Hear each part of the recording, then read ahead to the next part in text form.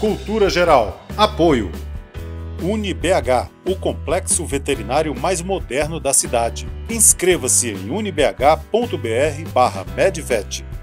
Caixa de Assistência OAB Nova Lima. Caminho seguro para os advogados de Minas Gerais.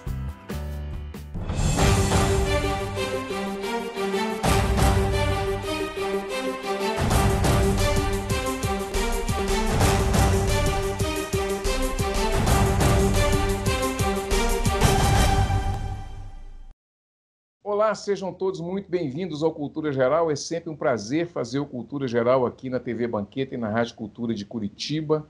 Hoje a gente com uma pauta super especial, a gente vai falar um pouco de neoliberalização do judiciário. Eu acho que é fundamental entender isso. A gente que tem discutido aqui o Brasil e a América Latina ao longo desse, desses, desses cinco anos, né? A gente tem discutido do Cultura Geral cinco anos e meio e amplificado aí há uns três anos atrás, discutindo o Brasil, e agora também nesses últimos 12, 14 meses, a gente está discutindo a América Latina junto com essa, essa pujança de situações que a gente tem vivido é, e de surpresas também. Para conversar sobre esse assunto, estou conversando aqui com o autor do livro, professor Tiago Arruda, é, professor da UFESA, Professor, seja muito bem-vindo ao, ao, Cultura Geral. É um prazer te receber para a gente tratar desse assunto que, nas grandes mídias, a gente nem vê circulando essa discussão. Né? Eu acho que é fundamental trazer esses assuntos,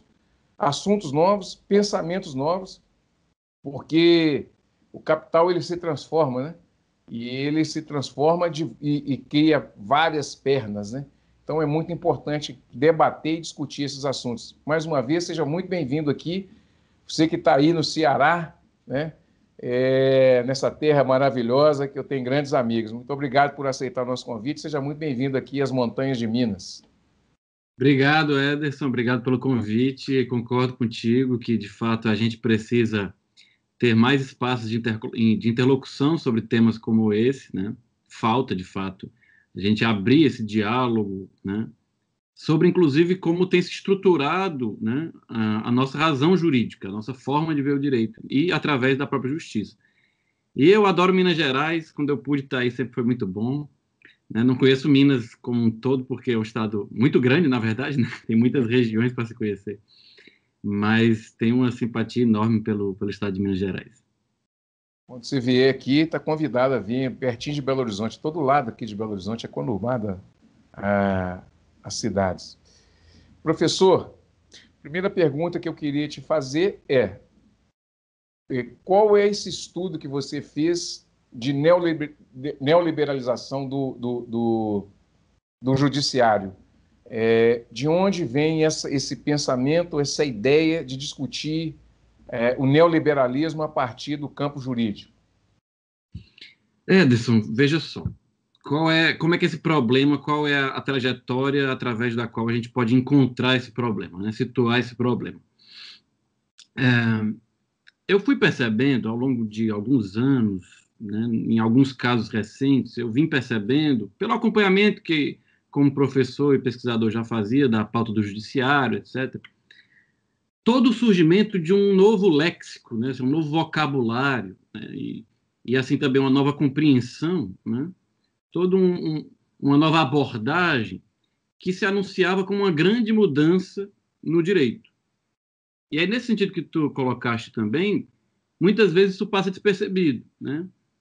Mas havia alguns atores em meio a esse contexto da Lava Jato, mas extrapolando também esse contexto, para além desse contexto, e o que eu fiz na pesquisa passa pela Lava Jato também, mas vai além dela. uh, um conjunto de anúncios de uma mudança no direito brasileiro. Né? Eu falo um pouco disso na, na pesquisa, né? no livro, e tento trazer logo na introdução alguns desses discursos, alguns desses enunciados. E aí tem tanto votos de ministros, né? votos de ministros do STF, trechos de votos dos ministros, ah, discursos de ex-ministros, né? do Carlos Veloso, uma, uma fala também muito, muito marcante né, de, de um professor da, da FGV, né, o José Eduardo Faria, que teve por muito tempo vinculado à crítica do direito no Brasil. Ou seja, algum, algum, um certo conjunto de enunciados que trabalham a ideia de que o direito brasileiro está se modernizando. É um novo direito no Brasil que é necessário, que está se tentando criar e que vai se modernizando. Né? Eu não vou aqui me alongar. Em alguns momentos eu vou até, se possível, vou ler até algumas passagens para dar um elemento empírico mais, mais concreto. Mas aqui eu nem vou me deter nisso, não. O, o fundamental, o ponto importante aqui é esse esse anúncio de uma novidade que a gente podia resumir como um anúncio de modernização do direito. Mas como toda como todo de modernização é também um anúncio arcaico, né? E você já entrevistou esses tempos aqui pessoas que sabem muito bem disso, como Vladimir Safato, né? Entre outros, né? É, o discurso da modernização é um discurso sobre o qual é, sobre o qual, diante do qual nós devemos manter uma, uma espécie de permanente desconfiança, né? É, o que é a modernização? Sempre por trás desse vocabulário há algo mais substancial, há algo mais importante a ser compreendido, né? Por trás desse slogan da modernização.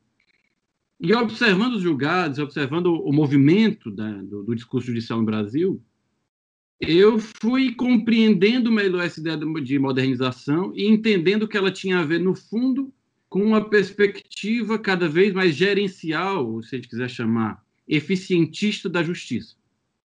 Né? Fui entendendo que ela tinha muito mais a ver com fundir, de certa maneira, o discurso jurídico e o discurso econômico, sob uma perspectiva neoliberal na medida em que os problemas judiciais se convertiam em problemas de gestão. E aqui, se eu quiser resumir para ti em uma palavra o que eu encontrei, né? A gente vai falar sobre isso ao longo de toda a conversa, mas se eu quisesse resumir em uma palavra o que eu encontrei para ti, eu diria que uh, nesse modelo de justiça não há uma regra, não se quebra a ideia de um binômio regra jurídica que se aplica a um sujeito de direito. A gente pode explorar isso mais, né? mais adiante. É que só lançando a questão. Se quebra a ideia de que eu tenho o binômio regra jurídica que se aplica ao sujeito de direito. E eu migro desse binômio para um outro binômio, que se justapõe né, e se, se coloca diante desse primeiro binômio. Qual é esse outro binômio? É uma intervenção de tipo neoliberal, feita judicialmente, que se impõe a um sujeito de interesse, a um sujeito econômico. Esse é o deslocamento que em meio a várias conclusões, esse é o ponto central da minha conclusão. É o deslocamento desse eixo.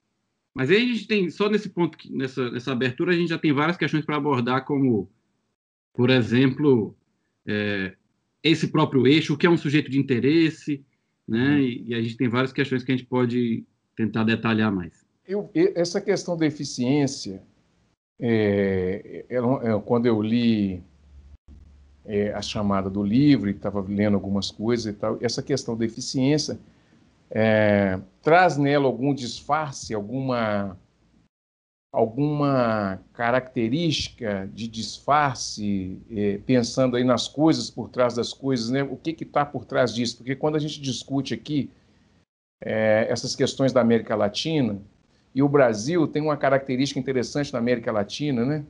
é, que as pessoas acreditam que as coisas que acontecem com os outros países na América Latina não vai acontecer com o Brasil. E aí o Daniel Omar Pérez ele faz um recorte muito interessante que ele, que ele, ele quando ele fala até na entrevista mesmo que foi junto com o Vladimir do, do, da reativação do Comando Sul dos Estados Unidos do Exército Americano. E aí a partir desse momento você vai ter ali aquela aquela interrupção do governo do Zelaya né, em Honduras e é bem sucedido, e a partir dali você vai tendo aquele mesmo modelo descendo para a América Latina inteira, até chegar na Dilma. É, essa ideia, e aí a ideia do discurso né, da eficiência, essa ideia de conduzir o processo com esse discurso de eficiência, é, tem uma outra passagem também que sai do sujeito da legalidade, né, da busca pela legalidade, e o direito passa a ser ter uma visão econômica. Como é, como é que como é que você é, é, amarrou tudo isso, professor? Eu acho que a tua pergunta, é, é, eu tenho que primeiro colocar uma questão preliminar, que é o tipo de abordagem que eu dei conceitual ao neoliberalismo, né? Assim, como é que eu, o que é que eu vi como neoliberalismo? O que é, que é o neoliberalismo para mim? E aí a gente tem talvez dois modelos hoje para olhar para o neoliberalismo e que eles não são excludentes, eles são complementares. E eventualmente a gente olha mais por um lado, olha mais pelo outro né, dependendo do problema que a gente está analisando. Né? A forma mais clássica de ver o neoliberalismo né, é ver, e até para o caso brasileiro, eu acho que ela era mais forte, inclusive porque pela própria ambiência, pelo, pela nossa cultura, na forma como ela estava e pelas transformações que ela passou. Essa primeira abordagem é você dizer que o neoliberalismo é um problema de políticas de austeridade, políticas de ajuste fiscal, políticas de retirada de direitos, políticas, portanto, de cortes de serviços públicos. Né? Nesse sentido, o neoliberalismo é uma espécie de conjunto de políticas, né? uma classificação de políticas públicas de alguma maneira. É, e foi a abordagem que eu, usei mais, ou enfatizei, é uma abordagem que tem mais a ver com a obra do Foucault e de outros autores que partiram dessa obra, debateram, dialogaram, conversaram com essa obra, que é uma abordagem que vê o neoliberalismo, que considera que ele também implementa políticas né, de Estado, etc., de governo, mas que considera que o neoliberalismo é uma racionalidade é, muito mais ampla do que uma política de governo. E talvez, por que, que eu digo que a gente do Brasil talvez tenha adotado por muito tempo a primeira sem atentar tanto para a segunda, né? sem olhar tanto para a segunda?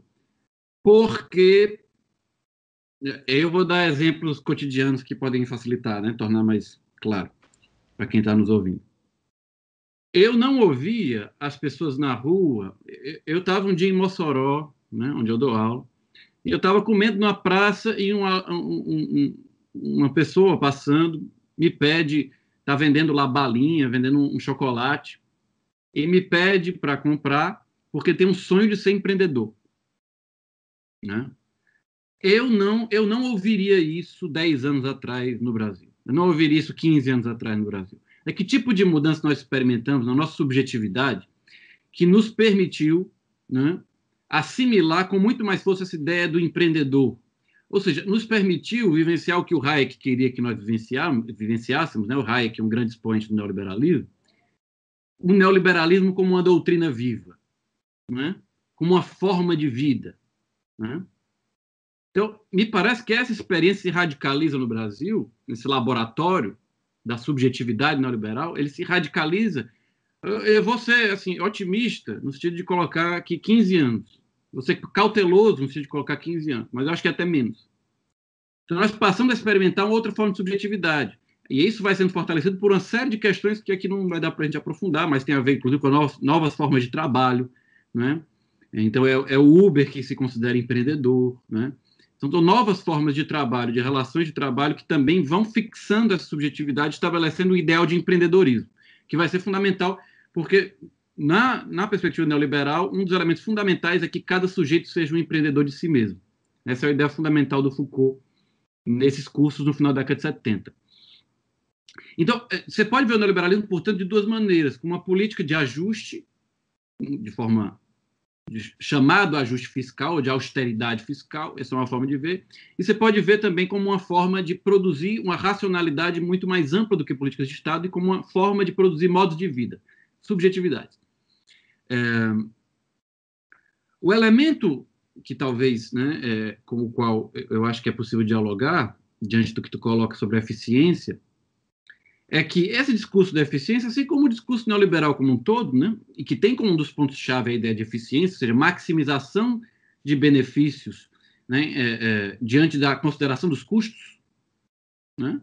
Então, é um modelo de investimento, custo e lucro, é um cálculo econômico, é um cálculo permanente de custo e benefício. E é isso que o sujeito deve fazer na sua vida de empreendedor de si. Toda a sua ação ser guiada por cálculos permanentes, cotidianos, né, de custo e benefício. Esse é o modelo de sujeito, que é o sujeito econômico, que eu chamo, que o neoliberalismo institui né, e reproduz, fabrica permanentemente. Né? É, mas esse discurso, é claro, né, esse discurso, é claro, ele não é um discurso de consequências imprevisíveis ou de consequências desprezíveis, né? Ele é um discurso cujas consequências nós sabemos muito bem, né? O neoliberalismo não é uma ideia, nem todos podemos ser empreendedores, né? A, a minha conclusão é que, ao final, com o neoliberalismo, nesse aspecto, é que, ao, ao final, nós temos basicamente sujeitos tidos como empreendedores de si mesmos, mas que, no fundo, são trabalhadores que assumem os riscos da sua própria atividade. É isso que nós nos tornamos sobre o neoliberalismo, né? trabalhadores que no âmbito de uma financiarização neoliberal, porque a financiarização é um produto do neoliberalismo e que produz uma desigualdade tremenda, inclusive no âmbito da política. Nós experimentamos isso como sujeitos nessa, nesse contexto. No âmbito de uma financiarização neoliberal, nós somos sujeitos que assumimos os riscos da nossa própria atividade é, no âmbito do neoliberalismo. E do, do aspecto especificamente jurídico, né, o que isso cria é um tipo de relação entre a justiça e o indivíduo, entre, justi entre justiça e, e, a cidadania, né, se a gente quiser colocar assim,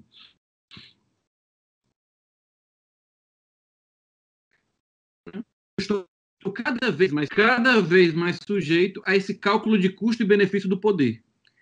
E em que a cobertura jurídica oferecida para isso é cada vez mais precária cada vez mais a menos amortecedores ou menos cobertura jurídica de garantias constitucionais, direitos fundamentais, direitos humanos, para mim, diante de uma justiça que faz cálculos de custo e benefício permanentes com a minha vida. A minha vida quer dizer tanto no limite a existência da minha vida, como no limite a minha liberdade, ou como menos que isso, outros aspectos da, que podem chegar até uma decisão judicial, né? podem ser objeto de uma decisão judicial.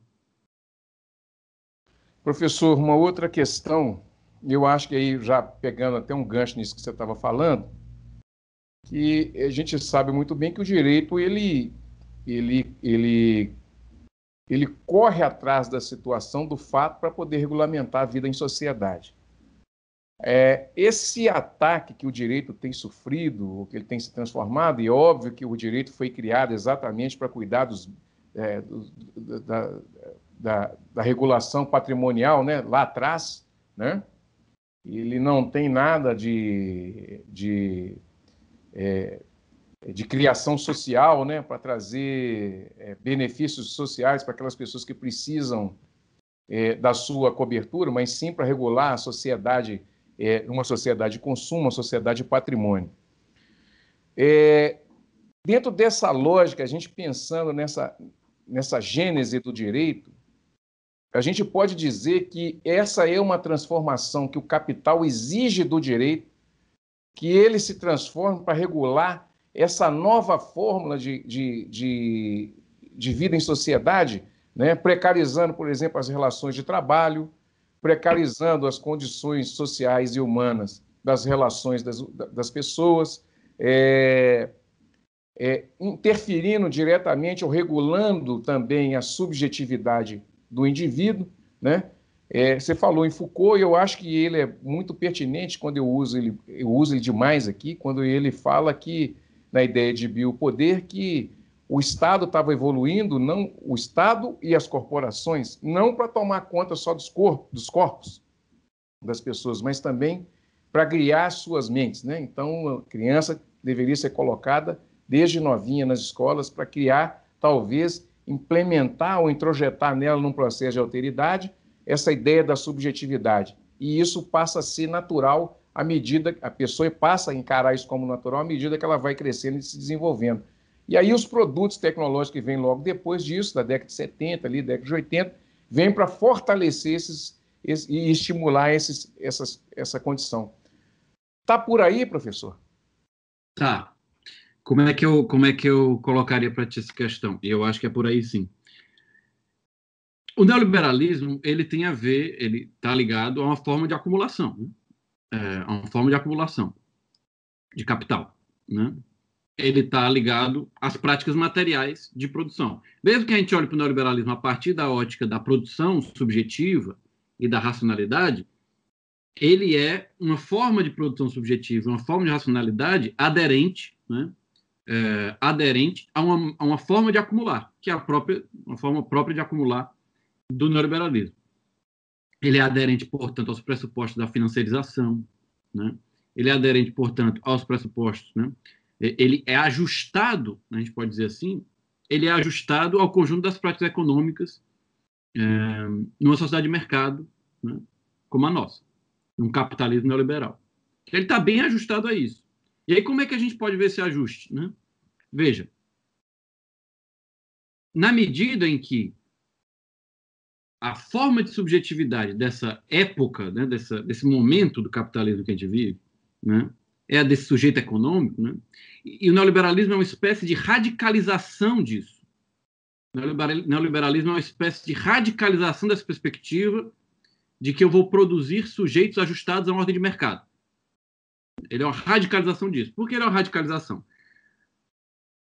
Na medida que o neoliberalismo, a fase do capitalismo que a gente vive, foi uma fase, e aí ligando ao aspecto das políticas, né? O que, que o capitalismo neoliberal fez? Ele vai abrindo cada vez mais, isso é, um, isso é um elemento essencial do neoliberalismo, que é de tornar o mercado um regulador social geral. Né? Na medida em que ele abre esse caminho, eu vou perder. Então, o Estado, como dispositivo regulador da vida social, enquanto, enquanto aquele que oferta serviços públicos essenciais, né? Não, agora você acessa saúde, educação, tudo via mercado. Na medida em que eu desativo esses outros dispositivos que regulam a vida social, que regulam o nosso comportamento, né? que, portanto, criam a vida social, é claro que eu vou abrir espaço, é claro que eu vou produzir assim sujeitos de outra maneira. Sujeitos que veem que suas soluções têm que ser alcançadas pelo mercado, através sempre do mercado. E, a, e que assumem de fato essa ideia de que a racionalidade de mercado e econômica serve para tudo na vida, de uma forma bem simples, bem direta. Né? Na medida que isso acontece, na medida que isso acontece, e acontece também com o próprio direito, né? acontece com o próprio direito, esse juiz ele também é uma pessoa desse tipo. Ele também é um sujeito empreendedor de si. Ele também passa a pensar sua prática e a sua decisão judicial, o discurso que ele produz, também passa a pensá-lo a partir desse modelo. Então, por isso que eu brinco com a ideia de que agora você não tem mais um juiz como antes, agora você tem um juiz gestor, um juiz investidor, num judiciário, uma justiça empresa. Né? Porque na medida em que esse modelo com a radicalização neoliberal, né, se generaliza para toda a sociedade e ele vai engolindo outras esferas da vida, né, ele, vai, ele vai ocupando outras esferas da vida, do direito, da política, das outras ciências humanas. Né? Nós estendemos essa ideia econômica de procurar o máximo de eficiência, custo e benefício em tudo, inclusive para o direito. Hum? Então, na medida, portanto, então como é que eu ligo as questões que tu suscitou, né, que você suscitou? A própria forma como o capitalismo neoliberal se estrutura nos faz ver o mercado como uma solução e nos faz generalizar a racionalidade econômica para todos os campos da vida. Vocês terem uma ideia, né, para você, Ederson, ter uma ideia disso, o, o, o, prêmio Nobel de 93, se eu não me engano, é um cara chamado Gary Becker. O Foucault estuda a obra dele, né? Foucault estudou a obra dele. E o Gary Becker ganhou o prêmio Nobel de 93 pelos trabalhos dele ligados exatamente à possibilidade de fazer uma abordagem econômica a todo e qualquer comportamento humano. Então, ele tem um livro chamado Abordagem Econômica do Comportamento Humano, se não me engano, Economic Approach to Human Behavior. E o Becker ali faz uma análise, ele é um dos autores da teoria do capital humano, né? E ali ele faz uma análise de absolutamente qualquer comportamento, ele faz análise de que absolutamente qualquer comportamento é possível de ser analisado pela via econômica. E que a economia, na verdade, é muito mais uma ciência do comportamento do que qualquer outra coisa. Do que uma ciência das trocas, do que uma ciência da produção. Ela é uma ciência do comportamento. Ah, mas isso aí o cara disse lá não sei onde. Não, esse cara foi prêmio Nobel em 93 por conta disso. Vocês procurarem aí. O discurso dele no Nobel de 93 é um discurso em que ele vai justamente reiterar essa tese pela qual ele foi premiado. Então, em 93, o prêmio Nobel foi dado a alguém que justamente dizia que o, tra o trabalho de uma mãe junto a seu filho podia ser lido por lógica econômica. A amamentação tinha uma lógica de custo-benefício, de investimento. Né? A amamentação, todo o cuidado com a criança, o amor, portanto, podia ser inteiramente lido a partir de uma lógica de investimento, custo e lucro.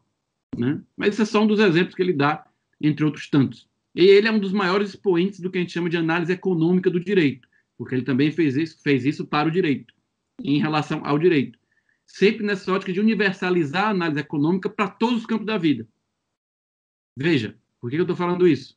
Porque esse é o ar que a gente respira, né? como diz um professor meu aqui, da colega meu professor aqui da, da UFC, que ele gosta de falar, esse é o ar que a gente respira. Né? O ar que a gente respira é esse. E esse é o ar que os juízes respiram. E cada vez mais eles aderem também a isso como forma de produzir discurso judicial. E quando eles fazem isso, Eles, ao invés de aplicarem regras jurídicas a um sujeito de direito, eles fazem um cálculo de custo e benefício do que é mais eficiente, do que é melhor para a gestão, do que vai produzir um resultado melhor para, para a, a política que eles imaginam, né? sempre tendo em conta elementos ligados ao custo e benefício, aos custos da justiça, aos recursos escassos. Se você quiser, eu posso até citar aqui um trechinho, alguns trechinhos emblemáticos disso. Sempre pensando nos recursos escassos de que a justiça dispõe. Então, só para citar um exemplo e passar a, a palavra de novo para ti. É, o caso da prisão em segunda instância, né, muito se falou sobre ele, a gente está agora vendo né, é, novas repercussões sobre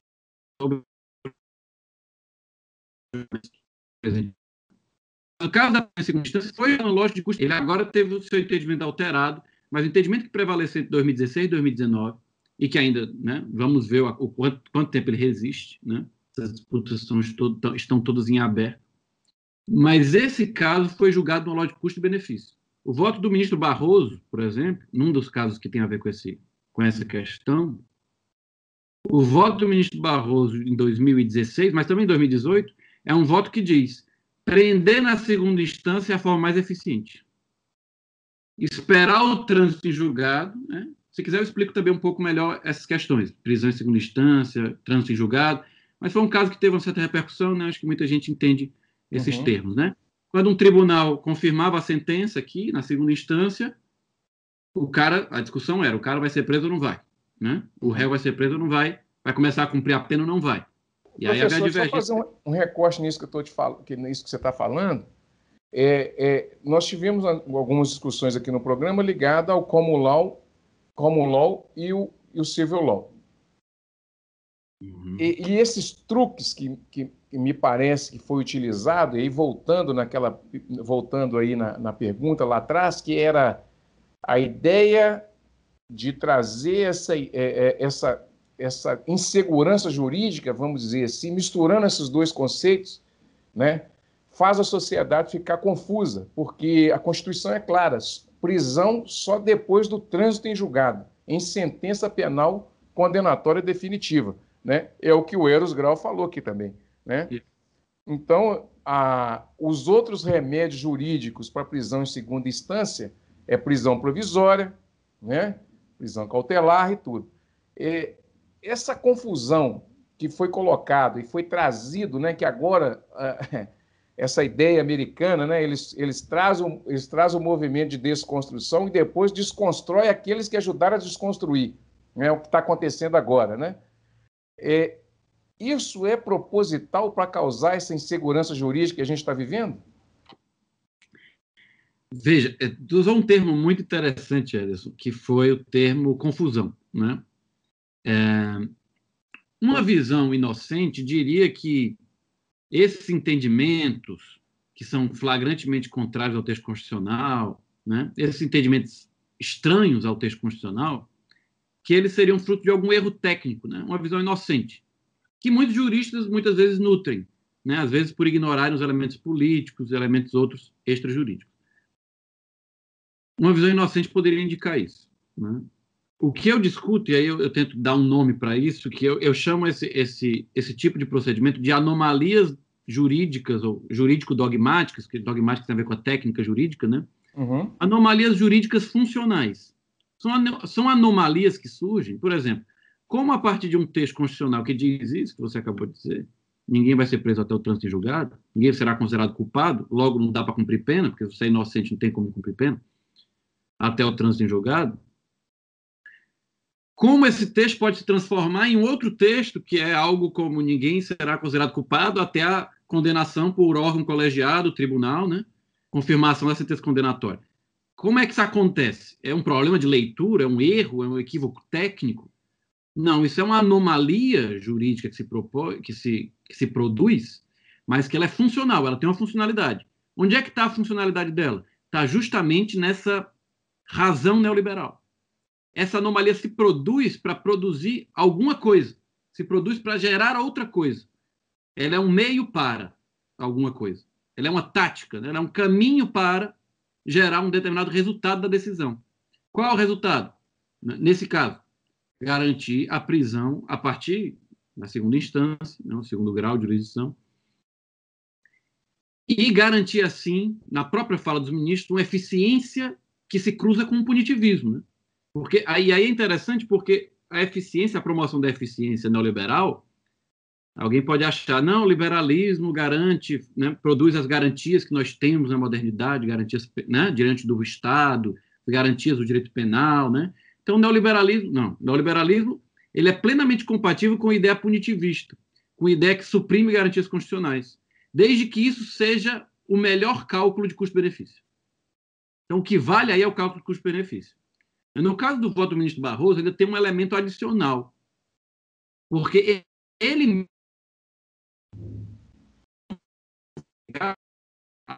como é que um caso, o caso de 2016, que mudou o entendimento do STF na presença em instância, depois, como eu disse, foi alterado de novo em 2019. Mas no caso de 2016, era um caso de um roubo de R$ 2.500 em Itapecerica da Serra. Certo? Foi nesse caso que o STF decidiu que a prisão poderia acontecer a partir da segunda instância. De uma forma muito curiosa, esse roubo de R$ 2.500 em Itapecerica da Serra vira uma grande discussão sobre a corrupção no Brasil e até sobre concorrência econômica e ambiente econômico para livre iniciativa. Eu, esse trecho é interessante eu ler. Deixa eu ler aqui, que é um trecho que me permite eu fazer uma leitura rápida. Nossa, aqui, é um material empírico que é muito curioso de ser lido. Eu, eu adoro esse trecho, porque ele realmente é muito curioso. Né? Olha o que vai dizer o ministro Barroso lá em 2016 para garantir a possibilidade de prisão em segunda instância. Ele vai dizer: outro elemento de fomento à corrupção é a impunidade. As pessoas na vida tomam decisões. É, as pessoas na vida tomam decisões levando em conta incentivos e riscos. O baixíssimo risco de punição, na verdade, a certeza da impunidade, funcionava como um incentivo imenso à conduta criminosa de agentes públicos e privados. Está falando aqui já no contexto da Lava Jato, né, 2016. Superar este quadro envolve mudança de atitude da jurisprudência e da legislação. O enfrentamento da corrupção e da impunidade produzirá uma transformação cultural importante no Brasil, a valorização dos bons em lugar dos espertos. Quem tiver talento para produzir uma inovação relevante, capaz de baixar custos, vai ser mais importante do que quem conhece a autoridade administrativa que paga qualquer preço desde que receba, que receba vantagem. Esta talvez seja uma das maiores conquistas que virá de um novo paradigma de decência e seriedade. Isso aqui não foi qualquer coisa. Isso aqui é a, construção de um argumento que derrota o texto constitucional, ao qual ele deveria estar vinculado. E veja como, de um roubo de Tapecerica da Serra, eu, eu chego finalmente a um problema de crimes do colarinho branco, porque havia esse pano de fundo de o que acontece com os criminosos que vão continuar recorrendo e recorrendo e recorrendo, os crimes, aqueles que cometeram crimes ligados à corrupção, crimes econômicos, então havia esse olhar, e é citado em vários votos, o problema do crime, da criminalidade de colarinho branco. E aí eu vou mais longe, agora eu já estou num campo que do roubo lá de Tapecerica eu estou na concorrência. Eu estou aqui pensando como eu vou criar um ambiente econômico para que as pessoas empreendam. Porque a corrupção é um entrave para a livre iniciativa e para a concorrência, e para todas as benesses que ela pode trazer para a sociedade. Isso está nesse trecho que ele fala quem tiver talento para produzir uma inovação relevante, capaz de baixar custos, vai ser mais importante do que quem conhece a autoridade administrativa. Então, o problema da corrupção, no fundo, é que ela distorce o mercado. É que ela é uma forma de conquistar monopólio que é contrária à inovação econômica. Né? Ela, ao produzir um benefício para aquele que não inova, mas que se corrompe e corrompe a autoridade administrativa, ela vai tirar o espaço, a corrupção vai tirar o espaço daquele que inova e produz de forma inteligente no âmbito do mercado. Então veja que salto que foi dado, veja que salto que foi dado, em que medida e, e considere sempre o seguinte: esse é um argumento que não é periférico, esse é um argumento que vem derrotar o texto constitucional, que vem derrotar o texto da Constituição. Então, por, ele não é só um floreio, eles não são floreios, porque eles são mais importantes que a própria Constituição, que é uma regra de direito fundamental da Constituição. Então, é claro que a gente podia também explorar alguns aspectos ligados estritamente à Lava Jato e às disputas que a Lava Jato ocasionou no STF. Né? Mas não me parece que a gente possa ignorar o quanto esse discurso neoliberal passou a ocupar a justiça. Não há nenhum outro fator conjuntural, na minha opinião, nem antipetismo, nem lava-jato, nem nada do tipo que me permita, que me leve a considerar que isso é desimportante, que isso foi só uma questão de ocasião. Inclusive, no caso do ministro Barroso e do ministro Fux, eu digo mais, poderia dizer mais. Isso aparece em inúmeros outros casos, e isso aparece como, de fato, uma espécie de convicção desses ministros, e algo ao qual eles estão dedicados, pelo menos no caso desses dois, que são casos mais paradigmáticos, mais, mais, mais exemplificativos até, casos é, de convicção e casos que se ligam a outras atividades que eles têm exercido. Né? E, e se a gente quiser aprofundar mais isso, também posso falar um pouco mais. Bom, deixa eu fazer um intervalinho aqui, porque esse primeiro bloco foi cumprido, né? deu quase dois blocos inteiros. Deixa eu fazer um intervalinho aqui na Rádio Cultura de Curitiba e também na TV Banqueta. A gente está entrevistando o professor Tiago. É, a gente, Tiago Arruda, a gente está falando da, do neoliberalismo e a influência do neoliberalismo na justiça brasileira. E por que não na América Latina? Porque isso começa é, antes do Brasil, antes dessa, dessa, dessa interferência, foi, começou a ser construída ao longo do tempo, mas chega efetivamente no Brasil no processo aí que tem se chamado de lawfare, né? e a gente tem vivido isso pujantemente. Inclusive, estamos tendo decisões agora disso tudo que tá, a gente está vivendo. Um minutinho só, não saia daí, a gente volta daqui a pouquinho com mais cultura geral aqui na TV Banqueta e na Rádio Cultura de Curitiba. É um minuto só.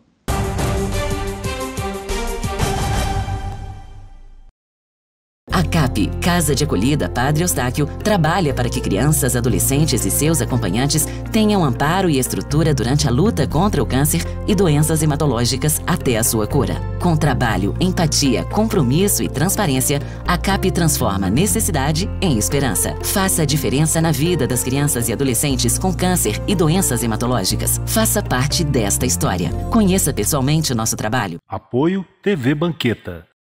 Com fome, fica muito difícil aprender. Por isso, vamos entregar milhares de kits pedagógicos para crianças e jovens e para suas famílias cestas de alimentos e de material de limpeza. Assim, todos vão estudar protegidos e bem alimentados. Não é fácil, mas com a sua ajuda é possível. Criança Nota 10. Proteger a infância é acreditar no futuro. Apoio TV Banqueta. Todos os dias, milhares de pacientes de Nova Lima, Raposo e Rio Acima procuram o Hospital Nossa Senhora de Lourdes para receber atendimento, sendo que 80% deste atendimento é pelo SUS.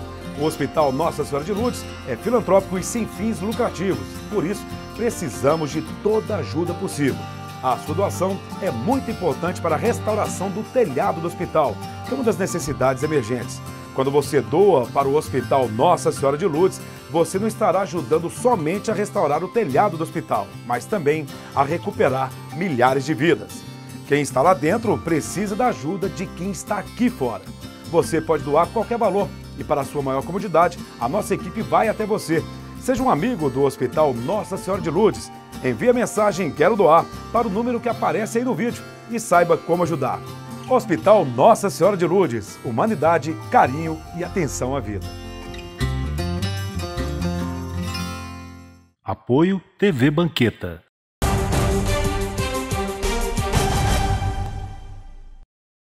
Bom, de volta com Cultura Geral aqui na TV Banqueta e na Rádio Cultura de Curitiba. Estou entrevistando o professor Tiago Arruda, que escreveu o livro O Neoliberalismo na Justiça no Brasil. Professor, eu queria te fazer uma pergunta que tem muito a ver com isso que a gente está falando. A gente está vivendo, eu, eu perguntei isso para um monte de gente, né? Inclusive para o ministro, é, o ex-ministro Eros Grau. A gente está vivendo um momento de lei em movimento, que é o, o, a, a, a, lei se adequando ao fato e não o fato se adequando à norma e, ou à lei. E, isso aconteceu ali no Estado nazista, né, em que a lei em movimento ela, ela, ela, ela é, teve esse nome porque ela, ela, ela identificava o sujeito e aplicava nele a lei sem estar previamente é, estabelecida nos códigos, né? É, essa, nós ainda estamos com essa sensação ainda. Eu discuti isso muito aqui, principalmente nessa época do julgamento em segunda instância, né? A gente pode ter essa analogia também? perto disso, parecido com isso? Eu acho que esse caminho é muito interessante. Eu acho que esse é um ótimo caminho para a gente olhar para esse problema. Né? É, eu diria para ti o seguinte: a gente no Brasil cultivou um, um pelo menos um, uma espécie de, de ideal positivista no direito, de formalismo no direito, de seguir os procedimentos. Isso sempre teve muitos furos, é claro, muitos. Na justiça penal nem se fala. Né? O punitivismo no direito penal sempre foi é, muito mais forte do que qualquer contenção à legalidade, etc. Mas nós tínhamos isso, pelo menos, como espécie de senso comum. Nós somos, em geral, formalistas. Né? A crítica do direito no Brasil, que passou por vários movimentos, desde a década de 80, principalmente, né? sempre estabeleceu uma relação é, desconfiada do formalismo e sempre defendeu a interdisciplinaridade, que o direito devia se combinar com outras ciências sociais, sociologia, antropologia, política, né? ciência política.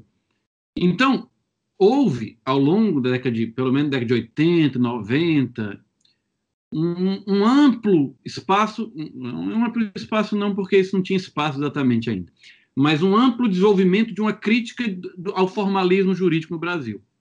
E essa crítica era normalmente feita de um, de um certo ponto de vista, do ponto de vista dos movimentos populares, movimentos sociais, certo? Mas não apenas, mas também, mas muito por esse caminho.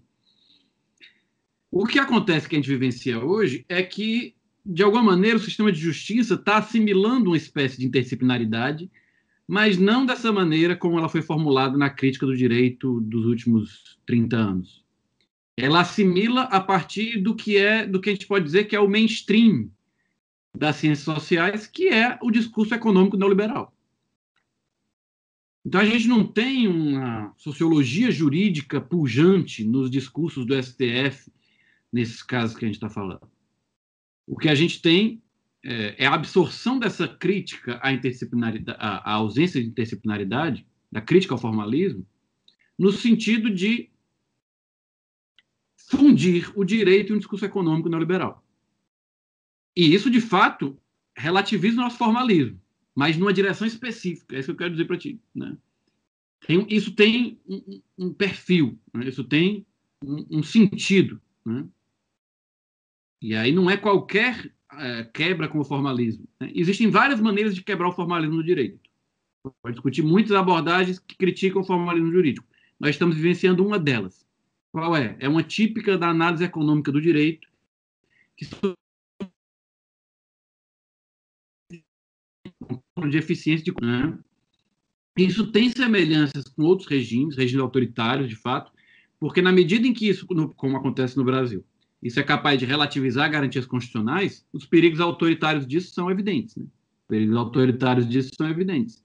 E nada melhor do que ver a, esses problemas de hoje, né, do STF, de hoje que eu digo, é realmente dessa data, desta data de hoje, né, os julgamentos, a suspeição, etc., porque em nome né, de uma certa missão que se coloca ao judiciário, e que no, no caso aqui tem a ver com eficiência, promover a eficiência, garantir, né, uh, que também está tá vizinha no nosso cenário, ela, ela é vizinha dessa ideia de combate à corrupção pela justiça, então, quando você coloca essa missão para a justiça, aí você tem riscos autoritários muito evidentes. É o que aconteceu com a Lava Jato de forma muito clara.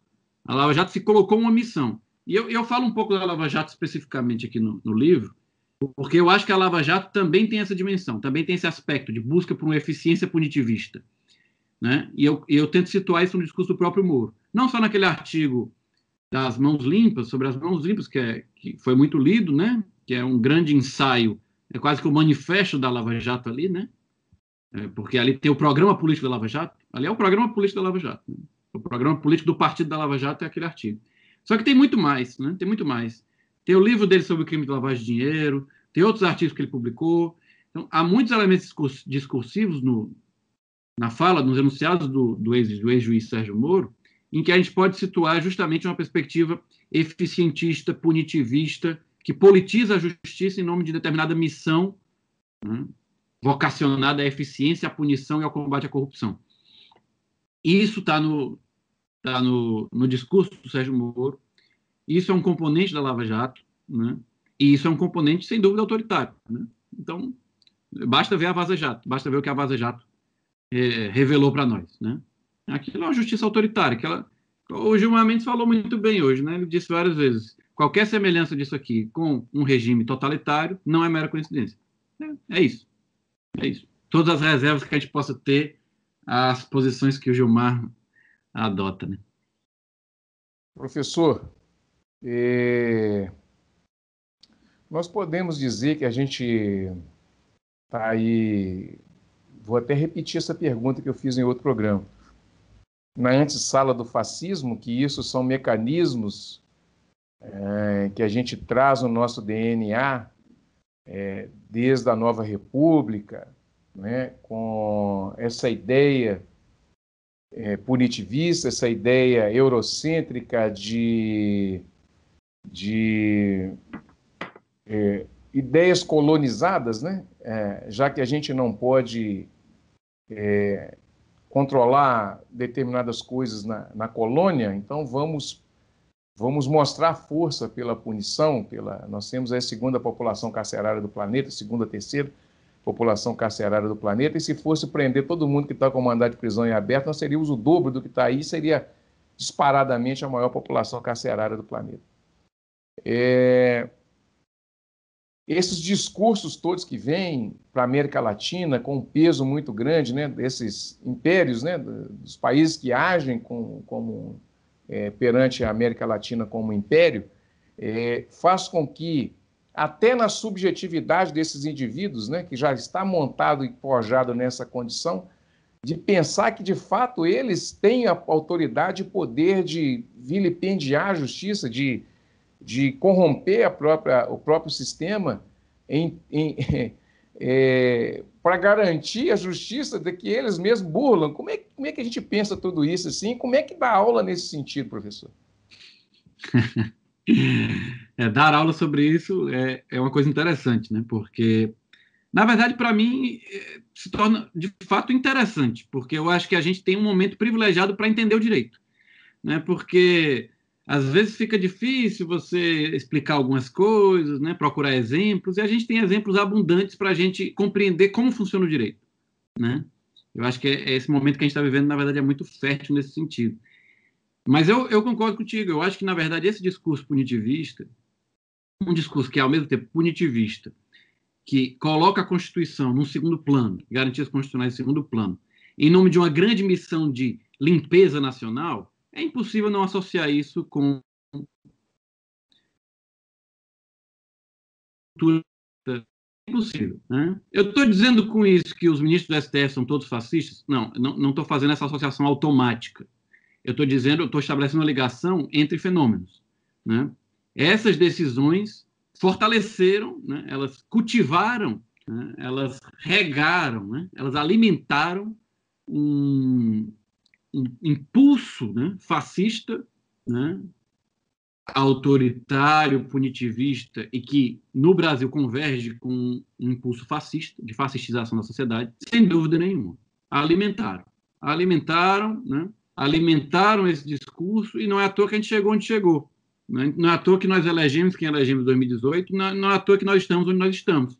Nós estamos vivendo as consequências que um processo do qual a Lava Jato fez parte decisivamente, nós estamos vivendo as consequências desse processo. Né? Esse processo não é um processo que, que começa aqui, acaba ali. Não, a gente está vivendo uma continuidade desse processo. Né? Um processo em que e, e, aí é interessante, que é uma coisa que a gente podia até explorar mais em algum, né, não sei se a gente vai ter tempo para isso, as próprias relações entre neoliberalismo e fascismo. Né?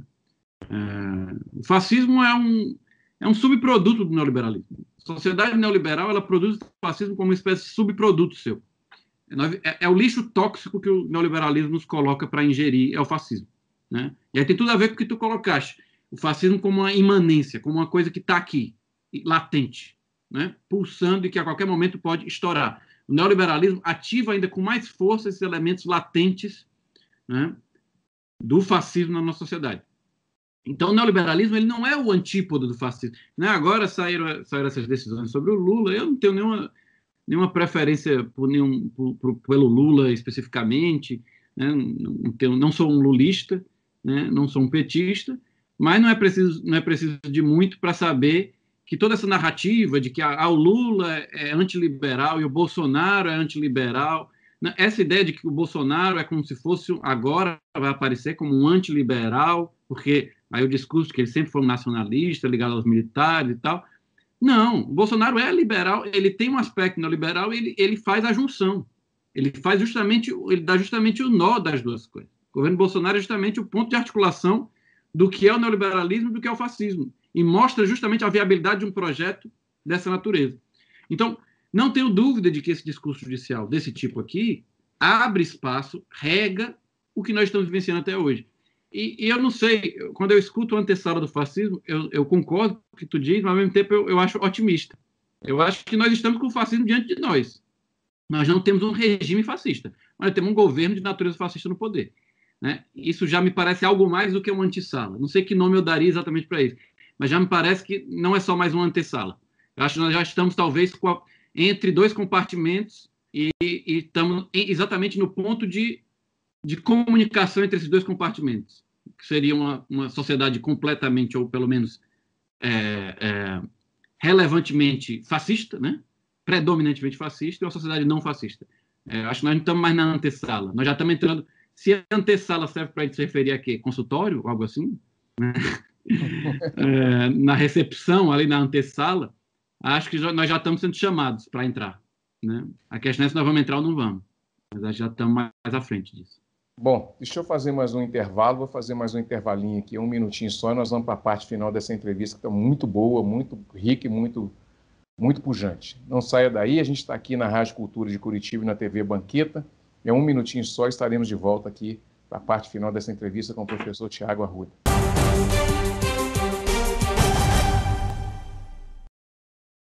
Todos os dias, milhares de pacientes de Nova Lima, Raposo e Rio Acima procuram o Hospital Nossa Senhora de Lourdes para receber atendimento, sendo que 80% deste atendimento é pelo SUS. O Hospital Nossa Senhora de Lourdes é filantrópico e sem fins lucrativos, por isso precisamos de toda ajuda possível. A sua doação é muito importante para a restauração do telhado do hospital, que é uma das necessidades emergentes. Quando você doa para o Hospital Nossa Senhora de Lourdes, você não estará ajudando somente a restaurar o telhado do hospital, mas também a recuperar milhares de vidas. Quem está lá dentro precisa da ajuda de quem está aqui fora. Você pode doar qualquer valor e, para sua maior comodidade, a nossa equipe vai até você. Seja um amigo do Hospital Nossa Senhora de Lourdes. Envie a mensagem Quero Doar para o número que aparece aí no vídeo e saiba como ajudar. Hospital Nossa Senhora de Lourdes. Humanidade, carinho e atenção à vida. Apoio TV Banqueta. Com fome, fica muito difícil aprender. Por isso, vamos entregar milhares de kits pedagógicos para crianças e jovens e para suas famílias cestas de alimentos e de material de limpeza. Assim, todos vão estudar protegidos e bem alimentados. Não é fácil, mas com a sua ajuda é possível. Criança Nota 10. Proteger a infância é acreditar no futuro. Apoio TV Banqueta.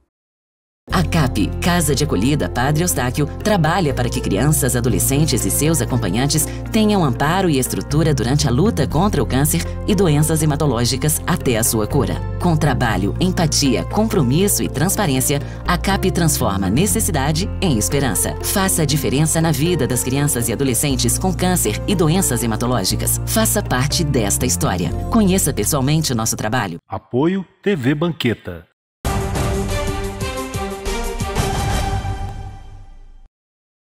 De volta com Cultura Geral aqui na TV Banqueta e na Rádio Cultura de Curitiba. A gente está indo para a parte final da entrevista com o professor Tiago Arruda. A gente está discutindo o neoliberalismo e a justiça no Brasil. É, esse livro muito bom do professor Tiago. Professor, é... a democracia vai sobreviver a esses ataques todos? Como é que você vê isso aí, essa situação? Eu acho que a gente só tem diante de nós a dúvida, né? E a gente não tem nada a colocar no lugar dela. O máximo que a gente pode fazer é agir para quê, né? Mas se a história nunca deu garantia de nada para nós, eu acho que a gente está num, num, momento ainda, ainda mais singular do que o de costume, né? Uma pandemia com fascista, que é um fenômeno ok, é um, um fenômeno relativamente novo. É verdade que tem alguns anos já, talvez já quase 20 anos, que a gente cultiva a eleição de apresentadores de programas policiais, figuras fundamentalistas, religiosas, etc., que deram, né, portanto, corpo a isso, mas, de toda forma, é um fenômeno relativamente novo, né? Esse fenômeno da, da nova direita conservadora no mundo, né, do que ela representa. Nós não sabemos exatamente o que é isso ainda, é, sabemos pouco sobre isso, né? E muito menos temos condições de fixar o que vai vir, né? O que eu tenho certeza é de que nós não sabemos o que vai vir. Né? E o que eu tenho certeza é que a única coisa que é possível fazer né, é, é, agir para, né? agir para que algo se produza ou algo não se produza. Né? Se nós não vamos, né, se nós vamos ter democracia daqui a um ano, dois anos, amanhã, nós não temos absolutamente nenhuma garantia disso. Se nós estamos ameaçados disso, estamos completamente ameaçados disso. Isso talvez seja o máximo que a gente possa saber sobre o futuro, né? Sobre o futuro. Até porque a análise a gente pode prospectar para o futuro, mas é, é muito mais uma, um mapeamento de riscos e possibilidades, né? Então, o que a gente pode saber é que nós podemos sim entrar num regime de outro tipo, isso não seria nada né, um regime é, predominantemente não democrático, né? Esse processo de desdemocratização, né, que é mais ou menos a caracterização que se faz desses governos, né, desses agentes políticos da ação que eles produzem, né? Um processo de desdemocratização. Então, não preciso ter um golpe, uma quartelada, né? mas eu posso ter um processo progressivo de corrosão e destruição das instituições e de atores que se ligam a, a uma institucionalidade democrática. Tranquilo, isso pode acontecer e está acontecendo, na verdade. O desfecho desse processo, é, se eu tivesse que palpitar, eu diria que ele não vai se desfechar, não vai se completar com um, um regime né, predominantemente não democrático. Acho que não, porque eu acho que é, esse corpo do fascismo no Brasil eu ainda acho que ele vai ser derrotado. Eu ainda acho que ele tende a ser derrotado. Mas isso, isso, a forma como as forças se organizam hoje, só nos permite saber que vai haver disputa. Não nos permite saber o desfecho da disputa. Né? Nós estamos com muito, muitos fatores, muitos elementos incertos né, para determinar qual desfecho que isso vai ter. Meu palpite seria esse, mas é só um palpite. O que eu sei com certeza é que o desfecho é desconhecido. Né? E que e se a pergunta, né? Acho que na verdade tua pergunta queria muito mais colocar a questão de o, o, nós podemos ou não nos fascistizar, né? É, ainda mais, né? Eu acho que há todas as condições para isso, né? De, a possibilidade disso é muito concreta. Né? Se vai acontecer ou não, né? Depender de, de, um, de um comportamento dos atores políticos, da, da sociedade, de movimentos, né? De, de forma como eles vão responder a isso. Né? Acho que a resposta que a gente deu até agora não foram suficientes, nem de longe. Não acho que Bolsonaro está amansado, não acho que tem nada disso acontecendo, não acho que o Centrão amansou o Bolsonaro. É, muito menos acho que Bolsonaro cometeu um estelionato eleitoral. Bolsonaro está fazendo justamente o que ele prometeu, que é promover uma destruição das instituições, que é destruir, como ele falou, né, ao invés de construir, né? Vou destruir. Isso é o programa do fascismo de sempre. Né? Isso aí é histórico, é documentado. Né? Se você lê os autores da década de 60 tentando entender o fascismo da década de 40 ou até os anteriores, você vai ver esse mesmo diagnóstico, né? De que o programa do fascismo é um programa, né, é quase um programa autoexpiatório, como a própria, o próprio comportamento na pandemia né, dos bolsonaristas sugere, né? É um programa que parece um programa de sacrifício geral, de uma, de uma ordem enlouquecida que promove uma espécie de, de, de sacrifício né, em nome dessa paixão, dessa loucura pela ordem fascista. Então, o que as pessoas fazem é, ao se exporem ao vírus, que as pessoas fazem diante de, de perigos objetivos, só revela, não revela uma irracionalidade por si mesma. Revela uma paixão, um afeto político profundo de natureza fascista. Então, o comportamento. É, eu recebi um vídeo agora de pessoas que tiram a máscara como um sinal de liberdade. Então, tem várias pessoas nesse vídeo, feito por bolsonaristas, pessoas arrancando as suas máscaras como um sinal de promoção da sua liberdade diante dos governos que decretam lockdown, e, e daí tolhem a sua liberdade, né? Um ato desse tipo, né? Ele não se explica porque a pessoa é mal informada, né? Ele não se explica por nada, por nada do ponto de vista racional. A explicação está em outro lugar. né? não está no campo do racional e irracional. Ele está em outro lugar. Ele está e aí o Safato que tu, tu entrevistaste recentemente fala muito bem disso. Para mim, é quem melhor fala disso no Brasil é como uma paixão, um afeto. Então é esse ato fascista. Nós estamos diante desse afeto fascista. Nós vamos fazer com que outros afetos superem esse afeto fascista. Vamos ser capazes de colocar em circulação de forma mais ampla afetos né, que se contrapõem à, paixão fascista, né, ao, ao, desejo, à forma desejante do fascismo. Né, vamos construir outro tipo de vínculo né, social, vamos ter capacidade de, de, derrotar esse tipo de vínculo social fascista. É, é, é impossível responder. Aí, quem, eu, aí eu acho que quem disser que sabe responder está tá mentindo, porque a única. A un... Aí a questão. Que aí, como, como tu entrevistaste Safatli e, e, e, e Daniel Almar esses tempos, né? Aí é aquela coisa que, se eu falar, se eu disser outra coisa, quem ouviu o último programa, né? Os últimos programas vai logo me contradizer. Né? Vai entender que a resposta que eu estou dando é uma resposta impossível de ser dada. É uma questão do desamparo, né? Como diz o, como diz o Safatli, nós precisamos procurar o desamparo como afeto político. Nesse sentido, eu acho que o desamparo é uma ótima, é uma ótima premissa. Né? Qualquer posição aqui que ofereça uma resposta segura nos coloca no lugar do amparo, e o amparo é paralisante. Né? Quem se colocar aqui como uma espécie de pai, autoridade acadêmica, política, dizendo que há um caminho, né? e que há uma solução, e que há um, um, um futuro certo, né? o que ele está fazendo aí, na verdade, é neutralizar a atividade política, na medida em que ele cria uma situação de amparo, né? É totalmente ficcional, né? totalmente é... irreal. Irreal, exato. Bom, gente, chegamos ao final do programa Cultura Geral. Entrevistamos esse grande professor Tiago Arruda, que escreveu esse livro muito bacana, né, que é O Neoliberalismo e a Justiça Brasileira, na Justiça do Brasil. Espero que vocês tenham gostado. Tiago, muito obrigado pela oportunidade de te entrevistar e a gente falar um pouquinho dessa obra sua, viu? Muito obrigado, viu? Eu que agradeço, Ederson. Sempre que quiser, eu estou por aqui, à disposição, e vamos continuar dialogando sobre esses temas e outros. Obrigadão. Bom, gente, chegamos ao final do Cultura Geral. Um grande abraço a todos vocês e voltamos amanhã com mais um programa super especial aqui na TV Banqueta e na Rádio Cultura de Curitiba. Um abraço para todos e um beijo no coração de todo mundo.